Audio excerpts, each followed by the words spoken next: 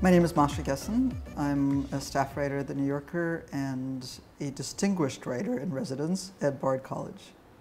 Uh, my name is Frances Negrón-Muntaner. I'm a professor at Columbia University, a curator, scholar, and filmmaker. And we're here today to talk about why words matter. So one way we could start to make it concrete real fast is just to maybe give some examples about how do words matter? So um, let, me, let me throw a few examples at you and I hope that they actually begin some threads that we can then pull on in this conversation. So one that I've thought about a lot and one that I think I'm very sensitive to is how we talk about immigration and how easy it's been for um, the right, for the Republican Party, for Trumpists, right, I, because there are different sort of forces that, that work in more or less the same direction or have been for the last, say, 15 years, um, to move the language uh, and, and move the terms of the debate about immigration and move the way we think about immigration by using different words.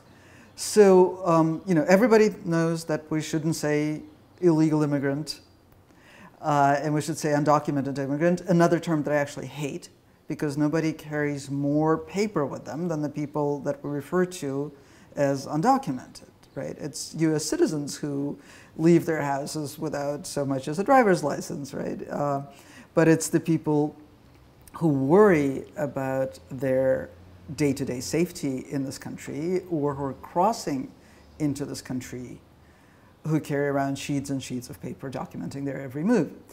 Um, but having, having settled an undocumented immigrant, then we do things like refer to people who are in this country illegally, which creates an entire way of legitimizing you know, so-called border security, another very important term, um, and, and, and goes a long way toward creating this discourse of deterrence, another extremely important word. Right? And um, you know, I think back to this conversation that I had on MSNBC with a wonderful host who um, I think we were talking about the, the family separation policy. and at one point he said, okay, but does it actually help deter immigrants? And I said, that's, you know, you can't ask that question. That's a horrible question to ask. Like the problem with that question is the question.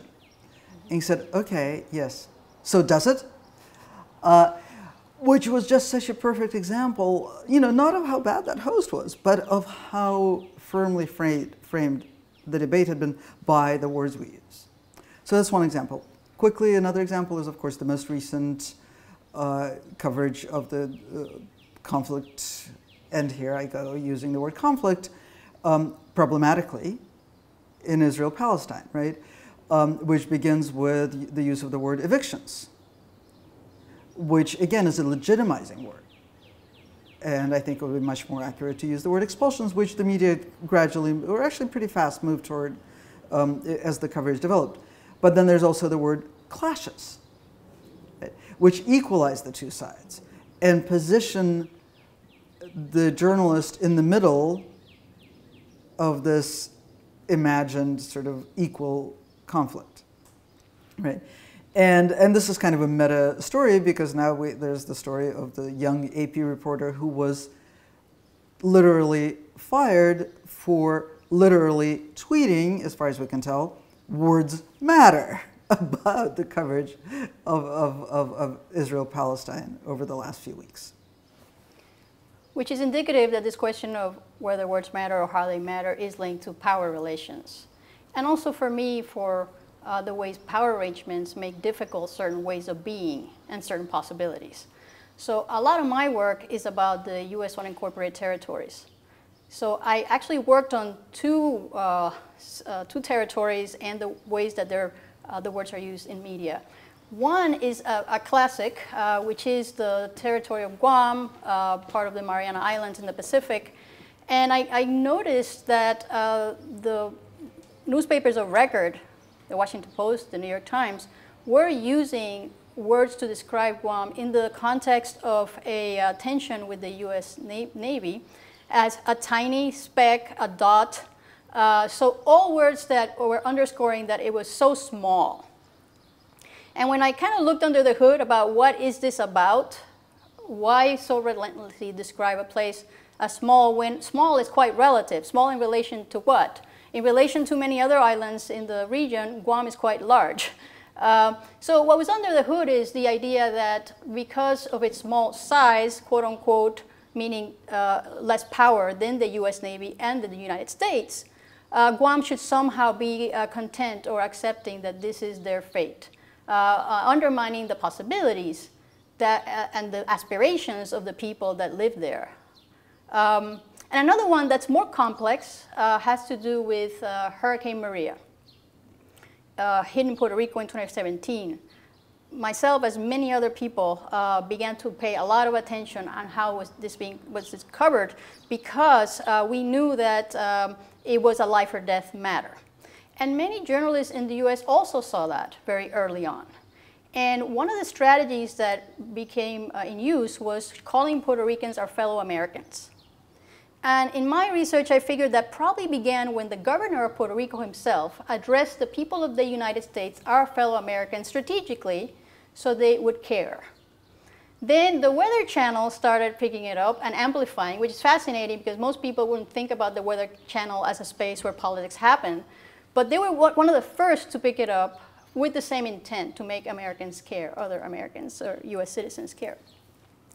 Uh, but then it went everywhere. And one of the most fascinating uh, things about it was the New York Times ran a pretty uh, lengthy piece calling Puerto Ricans our fellow Americans and explaining why what the US media called Puerto Ricans on the island was important and saying lives are at stake.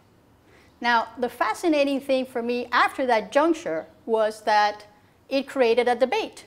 There was actually quite a lot of people that didn't appreciate that the strategy to make people in the United States care about what happened in Puerto Rico was to call Puerto Ricans Americans. One, because they're not Americans. Uh, and two, so that was kind of covering over that big uh, uh, identification question. By not Americans, you mean? Culturally, ethnically, not Americans. And that if you, but you meant by that was that Puerto Ricans on the island were US citizens, you were also covering up the fact that that US citizenship actually doesn't mean much because you cannot vote for president, you don't have a proportional delegation in Congress. So by calling Puerto Ricans our fellow Americans and either gesturing towards uh, uh, the same culture or a similar legal status was actually obscuring that Puerto Rico is a colony of the United States. And therefore, the grounds for uh, the U.S. to act was not that, that Puerto Ricans were our fellow Americans. But that's an interesting example because on the one hand, it was best intentioned based on research that suggested that even Trump voters at the time would be were much more sympathetic to the idea of quote unquote helping or assisting Puerto Ricans if they knew that they were US citizens. Yet uh, it raised more questions, which I think is something more general. That there is no perfect word or perfect strategy. There will be junctures where we use certain words and certain strategies, but those in turn are open to questioning and will once on the table, right?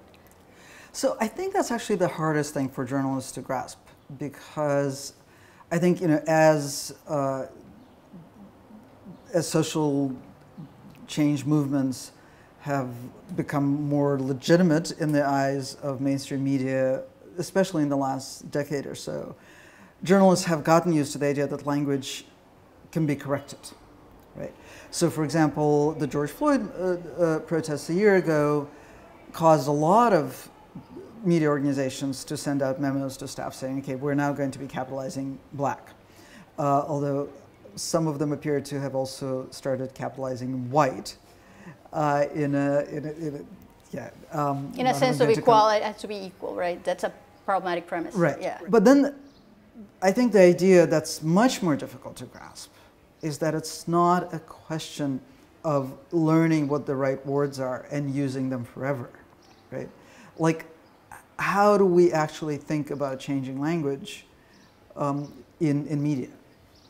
I mean, I think one of the ways is that a journalist, but also scholars and all, all authority figures when it comes to the production of knowledge and uh, information and analysis, uh, is that for um, for a long time in, in the hierarchical society that we live in, there are assigned people and platforms that are legitimized to say what is true. Uh, or to be at least uh, uh, received in that manner. And we're living in a moment where those hierarchies and those forms of authority are coming into question by a multiplicity, a proliferation of social groups and social movements. Uh, so part, I think, of how to go about it is to start realizing that. You know, that uh, everybody uh, and all groups produce knowledge. Not all of them are legitimized, and not all of them are provided with platforms to share or to uh, exchange that knowledge, but everybody is producing it. So therefore, it seems that, uh, I mean, on the ground, we can be looking at understanding that. Uh, we can be looking at creating uh, platforms that are uh, accessible to a greater number of people, and also uh, possibilities of ac accountability. Uh, without uh, repression, you know, um, that people can question, that people can open up new, new possibilities. Um, and that's missing, I think, from the current landscape. Like, I'm not a journalist. I mean, I have written for newspapers. Uh, but as a scholar, as a filmmaker, these authority and these uh, um, uh, contexts and these premises that all these spaces are, are pretty shared. You know, for instance, um, we've talked about the question of neutrality in journalism, uh, the same methodological in the scientific method. So you're a dispassionate observer, uh, you know, looking at something and producing uh, knowledge that's universal. Uh, and uh, as we know, that's just not the way that knowledge is produced. So yeah, so let's focus on this idea of dispassionate observer. Mm -hmm. um, because uh, it's actually, it's, it's really clear and specific in American journalism. Like, you're literally not supposed to care. Uh, and, um, and if you care about what you're writing about, that somehow makes you less credible. Right? Uh, which, which has always been a mystery to me, not just as a journalist, but as a human being. Like, why would I ever write about something that I don't care about? Right? Um, but uh, you know, in, in, in U.S. news media, it gets to the point where it's a badge of honor, and sometimes a requirement to not vote in elections. So to to to actively, literally remove yourself from from the sphere of political action, um, and to say, well, you know, that gives me the right to position myself outside the, the, the, the, conversation and describe the conversation objectively. Another premise that goes with that uh, is the idea that there's two sides. Right. And what you have to do to gain objectivity or, and credibility and, and sustain your authority is to provide a platform for the two sides, equal time, and, uh, and that solves the, the problematics of power and, and knowledge, right? So um, alternatives to that, you know, uh, it's interesting that in anthropology uh, over the last few decades, there's been a lot of work done about actually uh, the opposite strategy, which is situating yourself in context. So people actually know where you're coming from when you're saying the things that you're saying. Rather the, um, the myth and the fantasy that you can actually move, remove yourself because even if you don't vote or even if you don't express your opinions, obviously it doesn't mean you don't have them, but also how you're located intrinsically uh, is an ideological position. The assumption that there's neutrality and so forth are ideological positions. So there's really no escape. So perhaps uh, journalism would benefit from uh, incorporating other premises to uh, report and produce knowledge. And I think that's happening, right? I mean, uh, I don't want to make it sound like journalism is in the state that it was in, you know, 40 or even 15 years ago, right? Um, I think the actual experience of consuming journalism in, in this country has changed significantly because people are much more likely, for example, to know what the person that they're reading looks like, and are much less likely to know whether the media outlet is positioning what they're saying as news or opinion. I mean, there's actually no like way to have the physical experience of separation between news and opinion, which editors and media executives are a little bit slow to catch up to. Uh, but but it's already happened, right? Uh, so so I think con media consumers are finding all sorts of ways to situate the person that they're reading and understand you know, what the, the, information that they're receiving through, through that lens.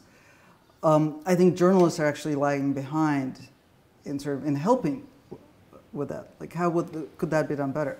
Right. I think the other thing that's different from this juncture that's very important, that the very notion of consumer of is blurred because now people can also produce. Right. So they're consuming and they're producing, sometimes creating their own platforms, have a lot, uh, a proliferation of possibilities to uh, produce counter narratives, counter stories.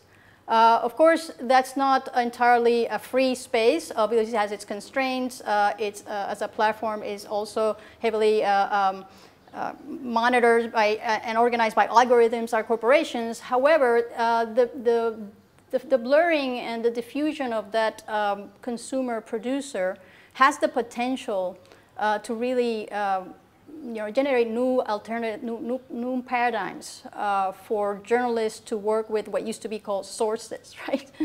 you know, which now might be able to think about as collaborators in the knowledge production rather than just uh, a source that you extract from, you use, and then you, you move on. Right.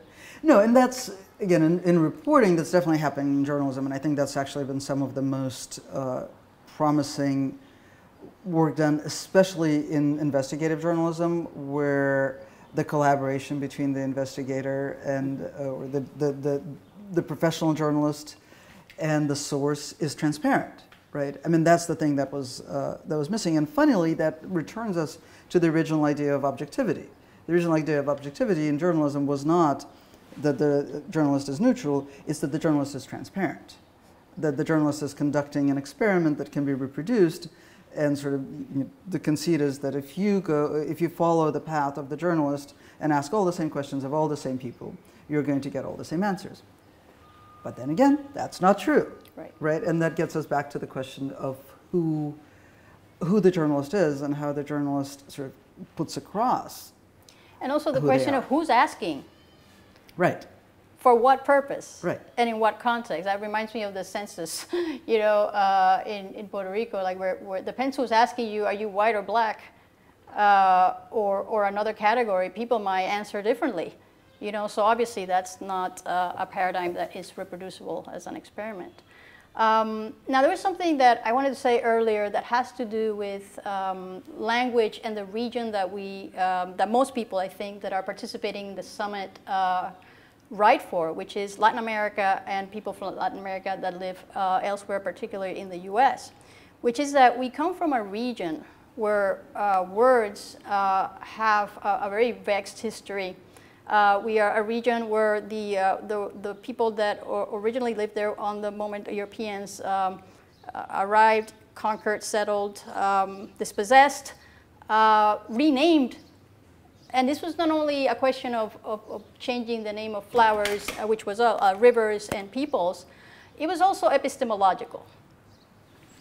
there was also a process by which certain types of epistemologies that have to do with these assumptions that we've been discussing about uh, the dispassionate observer and so forth, um, eliminated many other ways of framing things. Um, so I think part of the moment also calls for uh, work that um, uh, permits uh, the, that there are more than one perspective. So it's not, also, not the words in isolation, uh, but really, how does uh, words fit into particular epistemological uh, contexts, and how do they articulate a diversity of perspectives? And the richness would be not in telling the authoritative, the complete story, uh, but actually uh, to render the complexity, which would require uh, all of those perspectives and, and vocabularies. Like, for instance, um, um, there was a report uh, not long ago um, uh, by the Pew Research Center uh, saying that only 3% of Latinos uh, like to uh, use uh, Latinx to describe themselves, and therefore it was an irrelevant category. And I think another way of framing that would be from the start, the group that is called Latinos or Hispanics is tremendously diverse.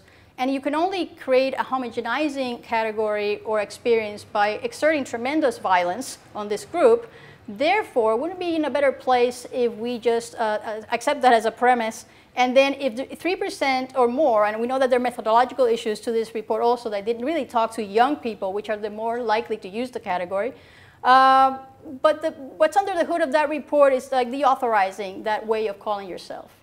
Whereas it seems uh, um, more rich for, our, for this group and for its objectives, political and coalitions that it might create, to uh, allow and permit that proliferation of uh, self-naming and the vernaculars that uh, come with that, that bring different experiences and different ways of being in the world. Yeah, I mean, that actually makes me think of a, of a funny anecdote. I've had this issue with editors twice in the last few years where I said that someone looked gay. And um, uh, or read as gay, right? And like, you know, it was relevant. Uh, it was one time uh, in a story about Eurovision uh, and about how the person performing for Russia, which has banned propaganda of, of uh, non-traditional uh, marital relations and, and all that stuff, how that the cont contestant read as gay, right? And had a gay aesthetic. At another time, I said that somebody who had fled Chechnya for, uh, you know, uh, uh, in the anti-gay purges looked gay. And so both times the editors just cringed, right? And this is this goes to the question of who is speaking and who is doing the naming because I thought, well, you know, I can see. And I'm telling you what I see. And I'm telling you that it is okay to look through my queer eyes for the purposes of the story. And the editor was looking at this and thinking, you know, you're looking through the eyes of the New Yorker, uh, which which doesn't have a wouldn't right. Wouldn't say such things. Right. wouldn't say such things. Wouldn't see such things. Right. Is you know is intentionally blind to such things. Would right. censor itself if it saw such a thing.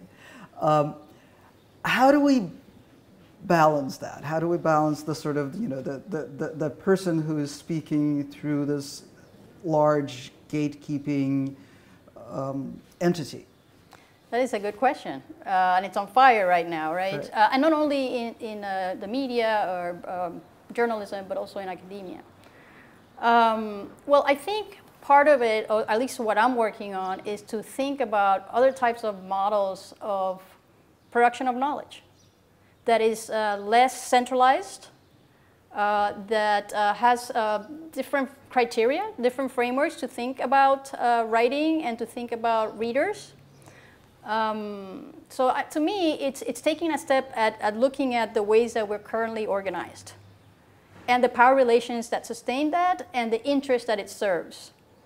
Uh, and I think in that world, uh, where we, we might come up with a, a different uh, way of going about things, uh, those kinds of stories, the way you were telling them, could be read as situated rather than uh, the New Yorker's voice, which would presume to be universal, you know, in that sense, right? So we don't see such things because uh, the universal subject, the New Yorker, uh, I don't know, uh, the the, uh, the New Yorker writer wouldn't write or see those things because uh, assumptions about readership and, uh, and also I, I, I think it also has to do with the business model of these institutions as well.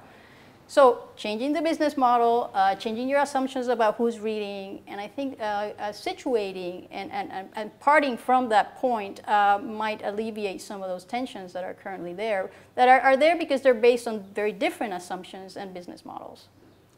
Okay, so we get rid of the profit-driven media model.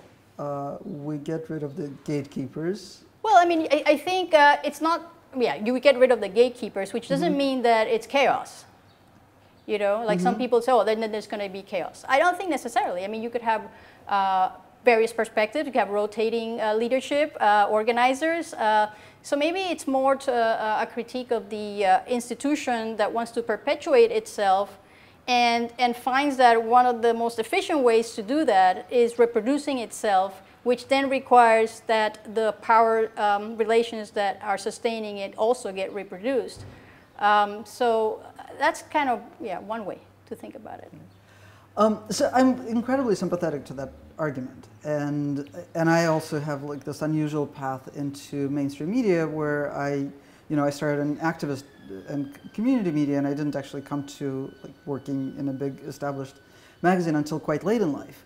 So, um, so uh, at the same time, I'm sympathetic to the plight of these behemoths because, um, and, and, and what made me sympathetic was actually the Trump era. Right? I was, I was specifically looking at the New York Times and thinking, okay, all the New York Times has going for it is being the New York Times right? Uh, it's, it's the culture. it's the institutional memory. Like if the New York Times suddenly acquired the ability to steer this enormous ship efficiently and, and, and, and, and, and adroitly, what would happen? It would stop being the New York Times. Right? Um, how do you balance that? Right? Do, do, yeah, I'm getting it. I mean, do- do you I'm I. I totally understand. Well, one part of it is that obviously uh, there's historical junctures that bring up uh, certain ways that, that power is contested, not only exercised, right?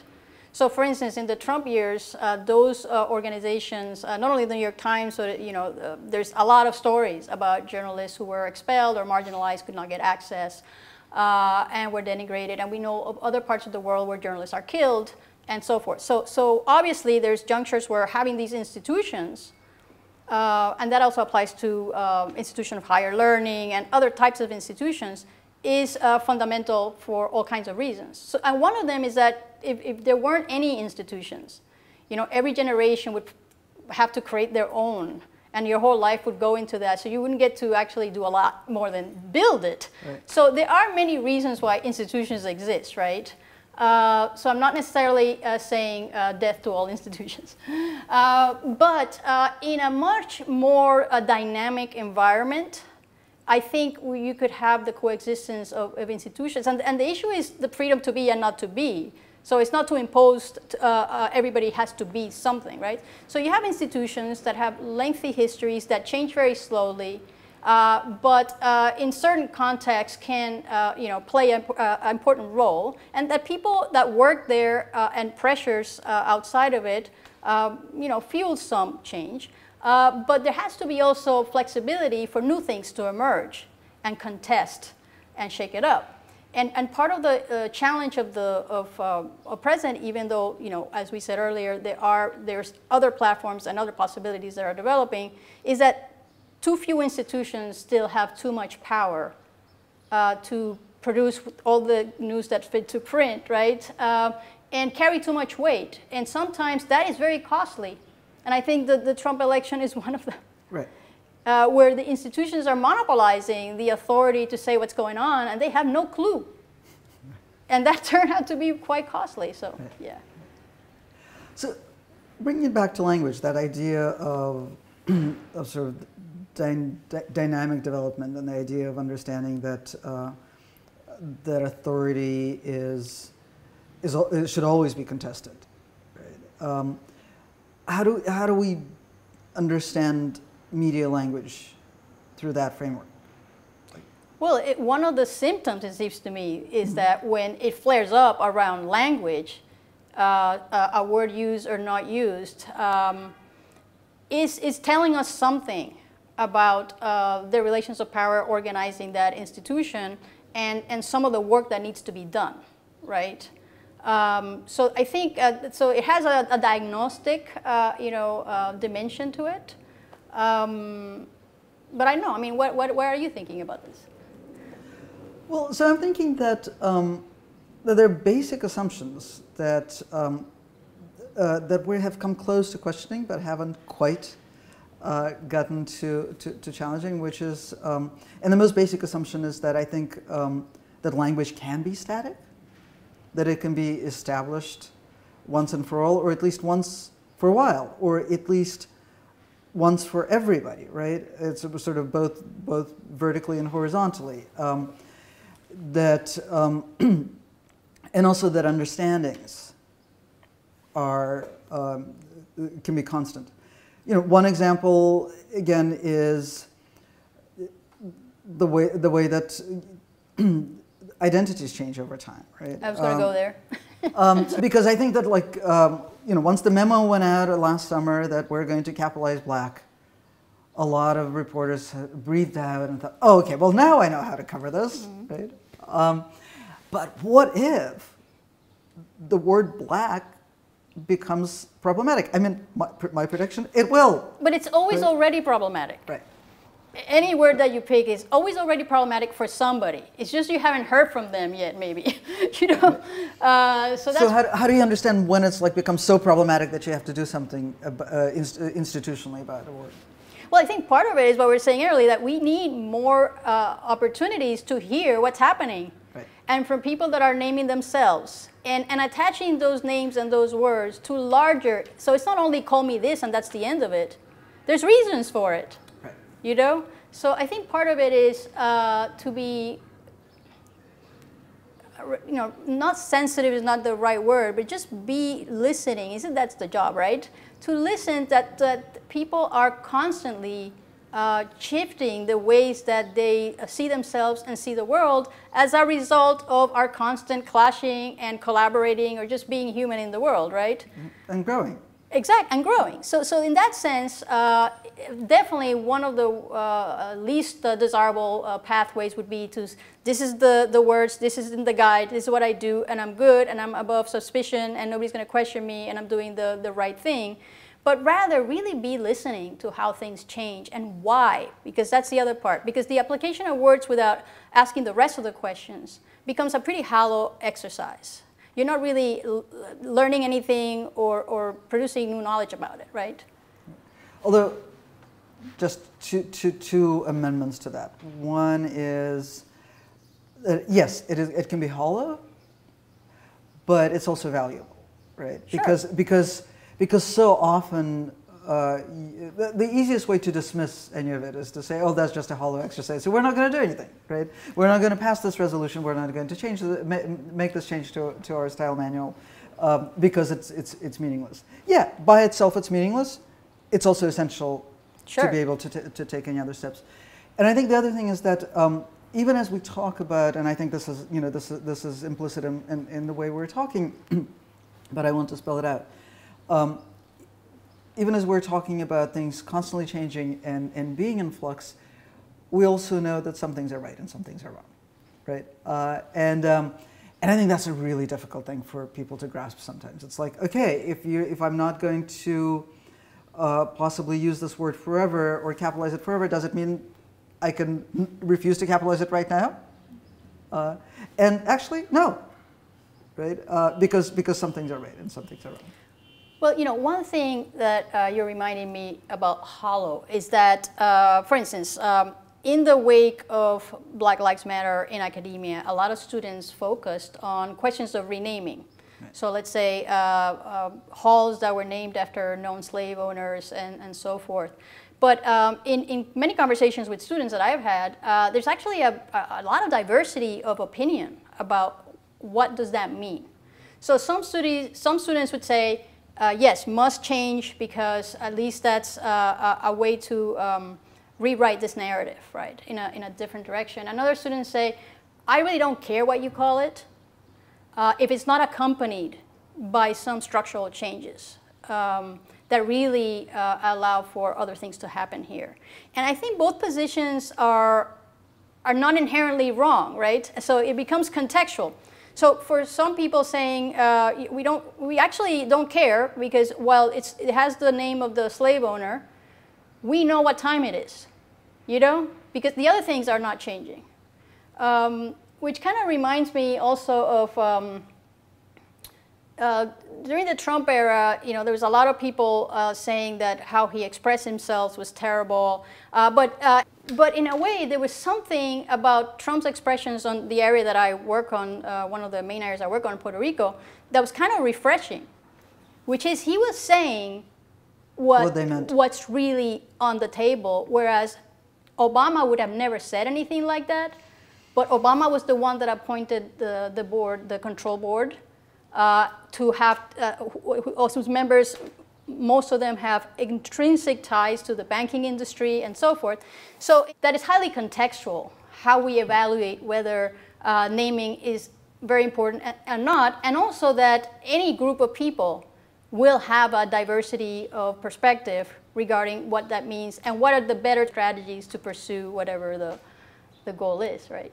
Right, and that, and that gets us back to, the, to this problem that there are no universal recipes, and there are no recipes that will last forever. And so, the only way that journalists can actually uh, try to grasp this is by starting by understanding that they're political actors, that we're political actors, right? That, that any act of writing and publishing is inherently a political act. In fact, I would say, you know, any act of even um, acquiring knowledge is a political act, and then it becomes multiplied by when you start disseminating that, that, that knowledge, which is such an obvious and also an absolutely revolutionary idea for American journalism.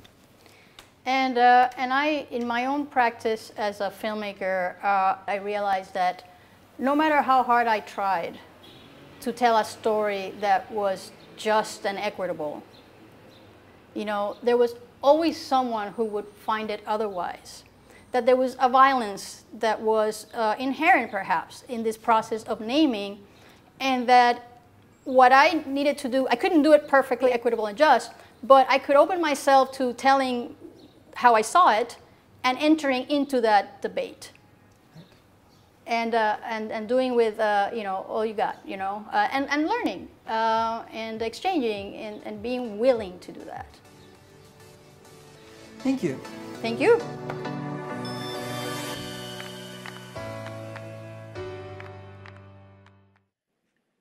What do you think about mainstream media organizations asking staff to moderate, in quotes, on social media and avoid expressing personal opinions about pressing social issues? Um, and you know, I think I think we understand it's inherently problematic because the um, the uh, there, there's a profit motive in journalists being present on social media. So that's a reason we don't. And you know, I, I feel like I'm saying the obvious, but I think we have we kind of have to walk through these logical steps, right? We don't see uh, media organizations asking journalists to completely cease their uh, being present on social media. They want us us them to be present on social media, but within certain bounds, right? And we have to be cognizant that this is an entirely new negotiation of a kind of um, public private divide for journalists. And actually, maybe it's an opening to a constructive conversation about the last point, point that I made, which is that journalists are political actors, right? Uh, and and this reminder that the moment you stop writing an article and start existing in your um, you know, non column inches way, uh, you have political opinions is perhaps a good reminder that you're a political actor at all times, right? And so, um, so maybe it would be more constructive to talk about it not in terms of moderating your social media presence, but in terms of integrating your social media presence uh, in, into your practice as a journalist.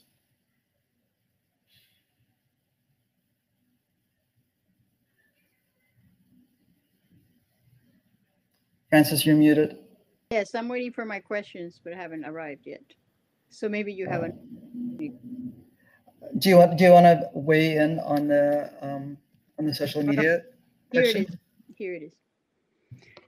So the question is about um, change in language in Puerto Rican uh, uh, about Puerto Rico in U.S. media. Um, and how that has enabled some people who favor statehood uh, to promote um, integration as a state as a cure to address uh, unequal historical relation? Well, um, I would say that what the uh, increased uh, attention to Puerto Rico has done is made a larger portions of the population aware of some basic facts um, that uh, that people were were before uh, didn't know. Like there's been surveys about kind of before and after Maria, how many people knew that uh, Puerto Ricans were U.S. citizens? Uh, as we know, unequal U.S. citizens when less legally so. Um, I don't think that has necessarily correlated with greater um, support for statehood uh, decision makers. Um, in fact, I would argue that the, um, the the current model of extraction, colonial extraction in Puerto Rico, is founded on the current status, which is that uh, attraction of millionaires uh, to Puerto Rico who don't pay taxes, um, uh, capital gains taxes, and other taxes. So I would see it very difficult that there would be a, a coalition of, of power that would uh, see it as uh, beneficial to the United States to incorporate Puerto Rico as a U.S. state um, in order to address that uh, issue. So in that sense, I would say that the the mass media landscape has definitely shifted, but I don't think it's shifted enough uh, to create conditions for uh, a coalition to be able to um, convince uh, decision makers and a broad public that Puerto Rico should become a state. Now, the second inherent part of your question is that becoming a state uh, doesn't address colonialism. And I, I, guess that depends fundamentally on how we define colonialism. So for people who define it as a subjection of a, a territory to a state, uh, you know, for them, then a legal address, it's a legal issue, so it can be legally addressed. For those of us that view colonialism uh, and coloniality as a much more ample um, set of uh, inequities uh, and subjections, then uh, incorporating Puerto Rico as a state of the United States uh, does not in any way uh, necessarily address all these other inequities and, and power uh, hierarchies. Thank you. Um, third question is from Kavita Rajagopalan. Um, to both of your points, that we have an opportunity to allow for multiplicity of perspectives, ways of producing knowledge, and the fact that both media giants, that's in quotes, and community-based outlets have specific roles to play, how can universal voice institutions responsibly bring intimate in-community perspectives to their readers without cannibalizing or appropriating?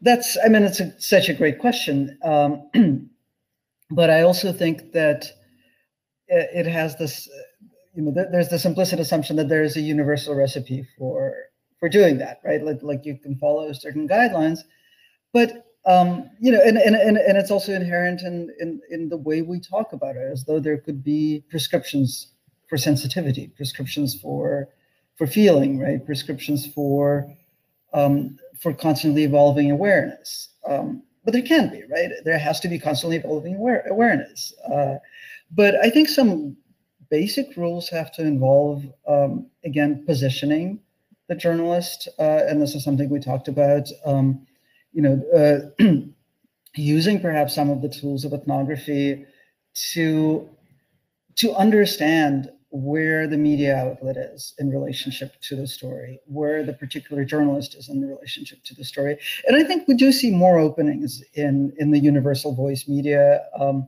for that sort of, uh, uh of story. I just think that, you know, it maybe makes sense for, um, for journalists as a, as a group to talk about this and to make this, to make these openings wider, but also be more intentional about telling those kinds of stories with a clear position a clear perspective.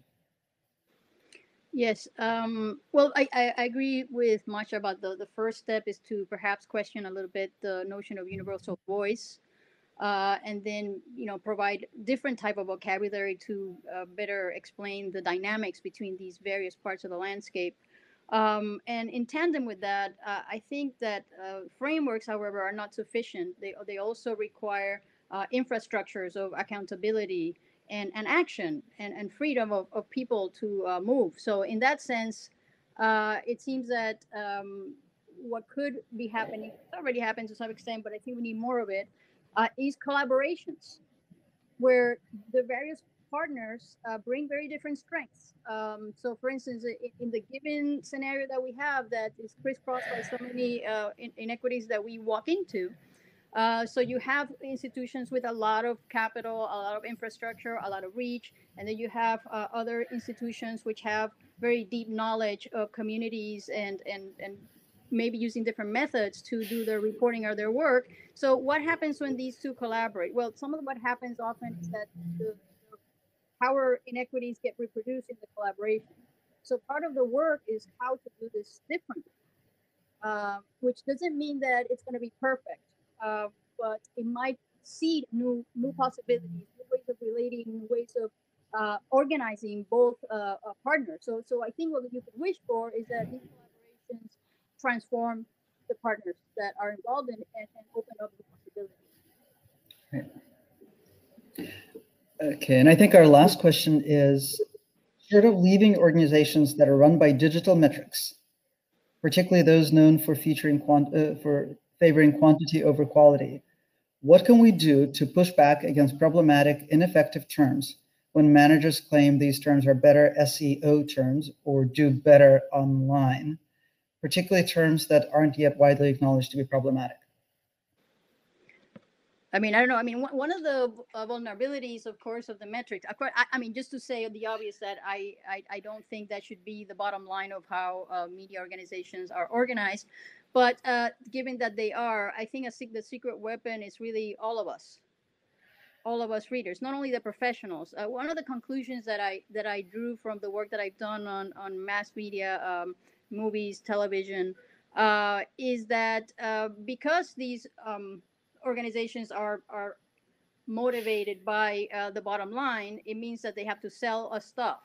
Uh, so I think one of the secret weapons is that we all mobilize, that we have infrastructure and mechanisms to push back. Uh, and and we are vulnerable because if, uh, they, I mean they are vulnerable because if we don't buy their product, it falls apart. So apart from what professional organizations can do and what in, uh, journalists can do and uh, and so forth, I think there's also all of us as not only uh, professionals or those that are or, or, those that are not, but also as just people that uh, support these institutions because without us, the consumer, they wouldn't exist, whether we're professional journalists or not. Um, and I think I would just add to that that um, uh, you know there's a there's a little bit of a false dichotomy between organizations that are run by metrics and uh, and run by the by, by by the bottom line, and organizations that supposedly aren't. Really, you know, we exist, and this even includes uh, the non uh, the few nonprofits in the media world, right? We exist in this profit-driven media model, right? Um, and we we talk about the media as essential for democracy. We talk about the press as the fourth branch of government. But we don't ask any of the other branches of government to sell advertising or rent out space in order to be able to, to sustain themselves, right? We don't leave any of the other branches of government to um, uh, to fend for themselves and, and and and and to determine their future by the bottom line, right? Um, and and I, so, so I I'm I'm really hesitant to say, oh, you know. Uh, try try to get a job with with with a, media organization that's not going to make you stare at the number of clicks that you got every day. I mean, that is a better existence to work with an editor who says, "Oh, you know, I don't care how many clicks you're getting," uh, but it's not. It's still not a sustainable model, right? The model that we're we keep trying to to to adjust and to and and and and to um, you know, to be socially responsible, to be politically responsive. Uh, and yet, you know, we have this fundamental problem of trying to squeeze money out of our public life. So um, that's not, you know, that's not a terribly hopeful answer to, to, to this question, but I think it's useful uh, to kind of keep in mind that it's not, um, it's not any individual media outlet that's so terribly problematic. It's the whole model that's uh, that's fundamentally flawed. And and unless we problematize it, um, we're not even going to be able to sort of to make the necessary adjustments within the existing model. Um, I think I, I've just been told that we got five more minutes. Uh, is that still right? I don't know. Maybe this. I think we have like a couple of more minutes. Yeah. Uh, oh, yeah, maybe yeah, um, six more minutes. Um, so, but I think uh, we've we've tackled the questions. Please feel free to. I have two here. I see. Uh, one is about uh, how to achieve an inclusive language with an ethnic perspective. If, for oh. example, Spanish is much of Latin America is under a context of colonization language is also geopolitical control. I'm, I'm assuming that you mean uh, other languages uh, in Latin America um, or in the, you know, so-called, his, uh, I mean, even when we talk about Hispanoparlante media, no, media in Spanish, uh, we're definitely overlooking the fact of enormous linguistic diversity in Latin America. Um, and that's also present in the in the diaspora in the United States as, as more and more indigenous groups uh, migrate and have a presence over many many years.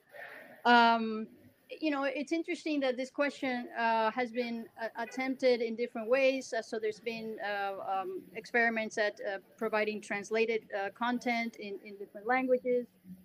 there's also been the attempt to do kind of Spanglish, at least in, if you think about the, the first experiment, Fusion, of doing, having um, content in various languages at the same time. Um, I, I think that it's very important to both support uh, media that's in multiple languages. Um, and that also that there is opportunities to uh, read um, the other languages, right? So I think part of the way forward there would be to invest in that. Now, of course, uh, um, it's it's very difficult for uh, corporations to do this because uh, they they feel that it's uh, depletes their resources. However, I I would concur with the gist of your question that uh, the language that is used uh, is both a side of control and contestation, and that uh, a, a, useful premise, uh, and this is true of the United States at large, not only among the Latin American population, is a multilingual uh, country. Uh, therefore, we need to have support for lang- media in multiple languages. Um, Masha, I don't know if you want to weigh in on that. There's another one that I see here. I don't know if you have another one on your end. Uh, no, go ahead. What's what's what's our next question? So the next one, uh, apologies if this was already addressed, but how does the debate over Latinx apply here? Well, uh, I recall mentioning that at some point uh, as a as a um, as a way to talk about this question of uh, or this gist or desire that some people seem to have for uh, homogenization as a condition for Latino politics. So my point was basically that. Um, if there's a group of people that want to be uh, called and, and, and see new possibilities in, in affirming uh, identification as Latinx, I don't think that should be seen as threatening to other people who want to be seen and recognize themselves as Latinos or Hispanics. Um, you know, so in, in, a, in a, to a large extent, because my premise is that uh, Latino politics is inherently a coalitional politics to begin with. So it's not that we're fragmented and we need to come together, but rather that uh, we are a very diverse group of people, and we have at, at various moments, uh, historically and presently, been able to coalesce uh, many of us around, not everybody, but many of us around certain issues uh, of common concern. But the, the fundamentals of that has to be worked on. It's not an inherent issue, and I, and I don't think uh, um, you know, imposing unity where there's none uh, necessarily adds to our, our power. Uh, I think our power would actually derive from uh, understanding where everybody's coming from uh, more than trying to impose a, a, unity that's not present. Although I don't know that's what you meant. Maybe I meant something else that you meant. um, yeah, I don't, I don't, um, I don't have expertise on uh, on the Latinx question. Uh, I, I will just throw a, uh, you know, a, a, thought into this, which is um, we constantly have to balance on this edge between uh, prescriptiveness in, in the use of language by the media um, and, and context. Right. Uh, and and again, you know, I've referred a, a, couple of times to the use of language around LGBTQ issues, right? Um, I mean, I've had I've had silly uh, arguments with editors where they automatically insert the Q uh, to LGBT where it is not appropriate, right? Where it's like in the context of legal rights, uh, whatever the Q stands for um, isn't actually um, uh, is, isn't actually relevant, right? Uh, and so, uh, so that's you know that's an obvious example, but it's just an example of how the writer and the editor and the entire system have to be cognizant of language actually being, being contextual. Right? Um, and I think now we're actually out of time. Yes, I, I get time over over here. Uh, so uh, it's been such a pleasure talking with you. Absolutely, and and uh, the only thing I wanted to add is that after our conversation, I started thinking, oh my God, I didn't uh, contextualize this word and that word. But it goes back to what uh, you were saying in the conversation that um, that it's not a matter of the perfect word. It's really in this uh, process to investigate and learn and and change uh, and, and open possibilities. So uh, so I guess it's an invitation for all of us to continue doing that.